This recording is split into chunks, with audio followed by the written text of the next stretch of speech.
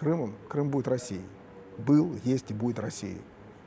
Мое детство, молодость, юность связаны с Крымом. И я люблю Крым.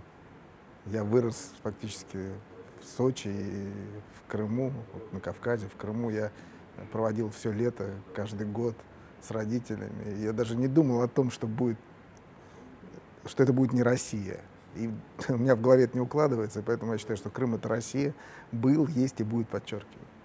И не надо никаких других мнений.